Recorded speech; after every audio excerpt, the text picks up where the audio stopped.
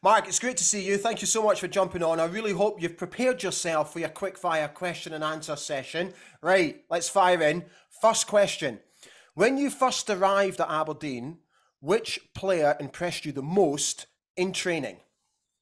So again, I had a little think about this one because I've, I've, been asked this before, and again, the one that jumps out for me was one that Craig Brown actually pointed out was a young Cammy Smith.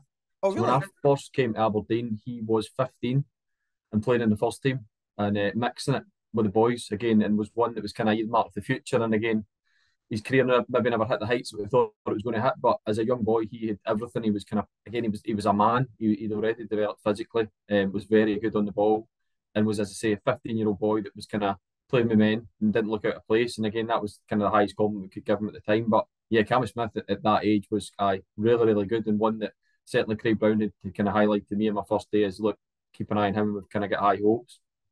Who did you sit beside in the dressing room? So I don't know if this was a reflection of me or just a reflection of how the change room was, but they actually sat me next to a pillar. um, so the right hand side it was just a pillar, so I couldn't speak to anybody. But on the left hand side, kind of my latter days was Kenny McLean.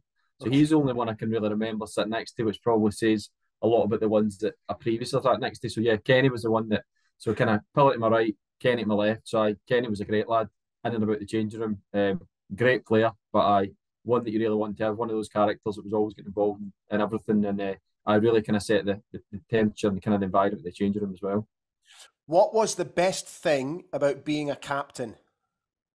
So again, the bit for me, and again, I've, I've thought about this before because it's, it's, something that I've, I've kind of obviously worn an armband at several clubs. But the biggest thing and the best thing for me being a captain is just wearing it out in the pitch. I think on a Saturday, which is the most important day of the week, is just getting to lead the boys out and, uh, and be the one to kind of, as I say, lead them out, especially at a club like Aberdeen, getting to go out and, and kind of lead those boys out and, and enjoy the successes we did. And it makes it a little bit special when you're, you're wearing the armband as well. What's the worst thing about being a captain? So again, again, I was never officially a captain at Aberdeen. I was obviously a captain at Dundee United when uh, we get promoted there um, at the Championship. But I was uh, Russell's vice captain at Aberdeen, and uh, I kind of got to do the best bit. I've been a, without actually being a captain, so I got to wear the armband. The worst thing at the captain is probably everything else. Is that all the admin you don't see behind the scenes is sorting tickets for games, is sorting hospitalities, is getting boys to go to functions, is getting guys to appear at appearances, and just all that kind of general dog's body work. So that's the bit that probably you don't enjoy, but I was lucky at Aberdeen that I got to for Russell's last year when he was kind of injured. He uh, he done all that behind the scenes stuff and was like my PA, and I got to just wear the armband and, and get all the glory on the pitch. Favorite pre-match meal?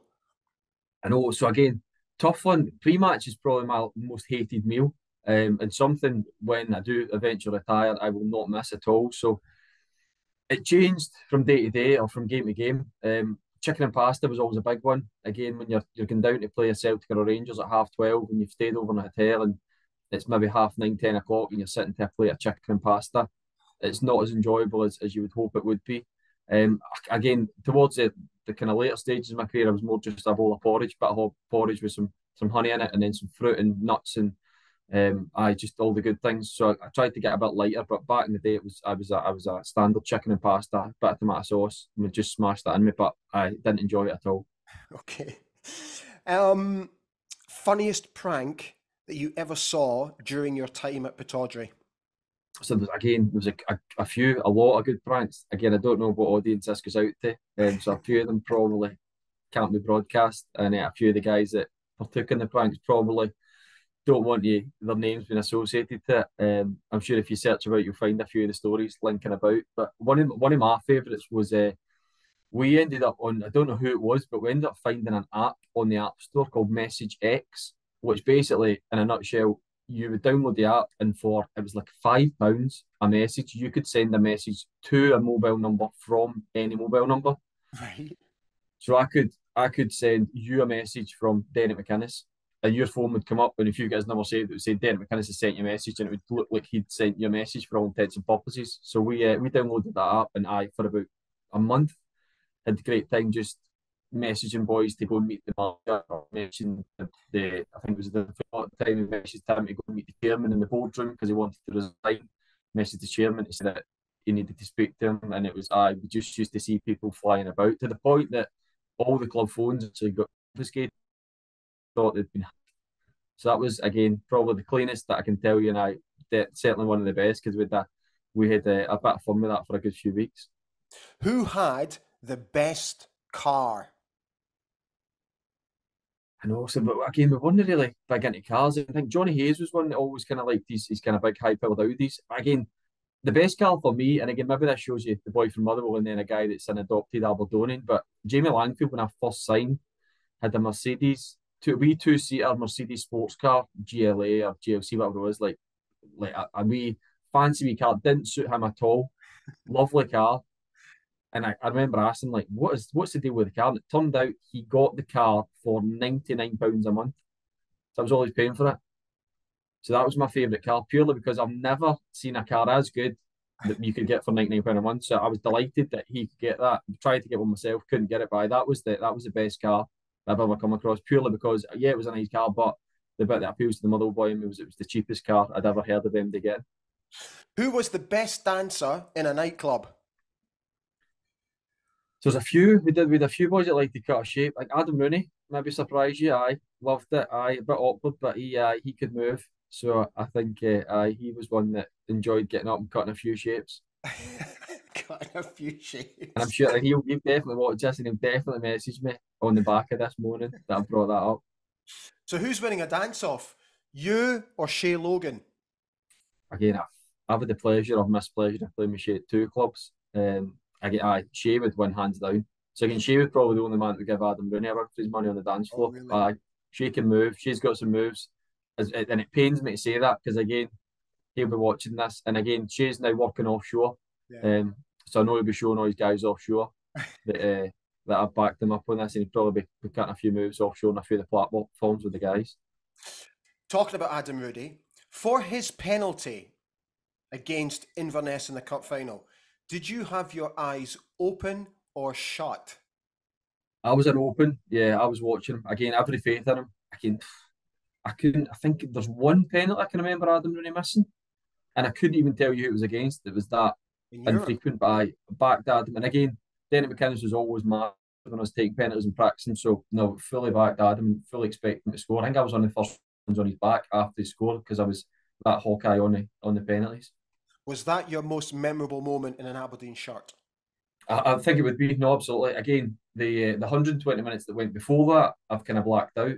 Um, wasn't enjoyable at all. We don't really speak of that, but I think as soon as that ball hit the back of the net, from that moment on for the next week was probably the most enjoyable. And again, just seeing how much it meant to the club, kind of the, the celebrations after it. Again, the amount of fans we took to Parkhead, the amount of fans that were back at Aberdeen, the amount of fans in Union Street when we paraded the trophy, um, was was amazing. And I certainly I think that does stand alone as the best uh, moment in, in our Aberdeen career. Were you in line to take a penalty if needed? So an interesting story. I would I would say I was. I think if you asked Ed McInnes and Tony Docherty, they'd probably say I was last in line. Um, so again, we I don't know if you remember, but we put Alloa was the team we played in the first round of that cup, and it ended up that I scored the winning penalty. Yeah. To get us through, through a process of it was between me, Calvin Zola, and Greg. Who else was it? it wasn't Greg Tansey? Can't mind who it was now, but it was basically me and Calvin Zola between the two of us and uh, Calvin was not having it, so I get pushed forward, scored it, and uh, had had said at the final, um, Denny McInnes was always keen on players wanting to take a penalty, so he would kind of go around and say, "Look, who's interested?" And everybody put a hand up, and uh, I put my hand up, and it, kind of just looked straight through me. So it was, uh, we'll try and find five other guys, and thanks to the volunteer, but we're not going to use you. So to answer your question, long story short, yes, I was in line, but I think I was at the back of the line. Right. Okay. Um, you scored seven goals for Aberdeen during your time at the club. What was your particular favourite? Well, it should have been hard because there's not, not that many to choose from. Um, I th- I'm probably going to say the Real Sociedad. Um, just began European game, big night. Um, we started that game really well. Scored, I think that actually put us one 0 up or two one up. Um, with a kind of real impetus, and we felt as though we were going to kind of maybe do something and get a real upset. But I that one I enjoyed that one probably the most, just for the occasion. And again, Real Sociedad are a huge European team as well. So during your time with Aberdeen, what was the best goal that you saw? So again, there's been a few. There's a few great goals, but I think the one that probably stands out was James Maddison's free kick against Rangers. Yeah, yeah. Again, and I think the, thing for us was again, I spoke to a few Aberdeen fans, what with a few Aberdeen fans now who kind of remember the bedlam and, and the kind of limbs after that went in. But James Maddison practiced that free kick or free kicks after training every day. He would hit 40, 50 free kicks. And again, for me, the thing that I always remember was he would score like 45, 46 out of 50. Like really? he would not miss. His technique was phenomenal. Like in terms of technical ability, probably the best player I've ever played with. Um, but practice, re- repeatability would I would smash him in. So we would all see him doing that. So when he stepped up against Rangers, we fancied him. That was like a penalty for us because we knew how good he was. But I think you just look at him, the age he was, the occasion, how much he meant to fans, and again just the, the sheer quality. I mean, it's literally the postage stamp. I think it it kisses the crossbar and the post going in the way in, and I, that was uh, I, that's that standalone is probably the best goal that I've seen. Graeme Shinnie also said he was the technically most gifted player that he played with. Yeah. Um, okay, who are you winning an argument with, Derek McInnes or the Doc? I know. So I, I would always back myself in an argument, but the good thing with Derek and and, uh, and Doc was we never really get into too many arguments or what. There was never really a winner. Um, we would save our peace and we would always kind of get to a, a resolution, or we would kind of let it cool down and we come back and we make sure that we could kind of all said and done, we were we were all sorted. So again, two great managers, and again, I think perfect timing. You look at the, the short list for manager of the year. I think Derek won it, and Tony Docherty was in the short list of three. So yeah. two great managers, two guys, great to in the changing room, great to kind of for me to work under. Um, aye, and again, maybe that's part of the success. There wasn't really certainly between me. There wasn't really many two arguments. A lot of disagreements, a lot of kind of not agreeing on things, or, or again, certainly with me wanting to play more than I was maybe it was then. But we always kind of got a resolution, so there was never really a need to be a winner. But I think if you asked Derek or Doc, they would always back themselves. So I'm going to back me and say I'd probably beat them both comfortably okay. In an argument. Okay, right, fella. Final question, and probably the most important one you will ever face. So, Bad Boys Inc. or the Backstreet Boys? Oh, so. Oh, so. Aye, it's a, oh. it's a tough question.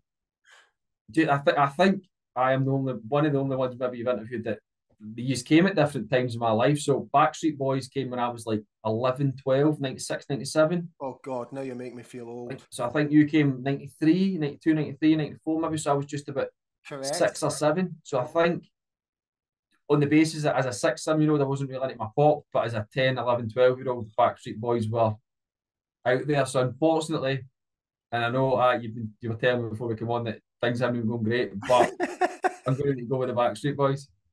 I can't believe it. What a way to finish, fella. I can't believe it. These were a close second. Few great songs. I did go and listen. I've downloaded a few of your songs. So if you oh, notice, have you? few of your Spotify's went up by one listener. That's that'll be me. Excellent. Excellent. That'll add 0.0001 penny in the pound to my royalties for this year. Perfect. I'll keep listening. I'll try and get that up to at least 5p. Mate, top man. Thank you so much. Cheers, Ally. Thank you. All right, fella. Take care.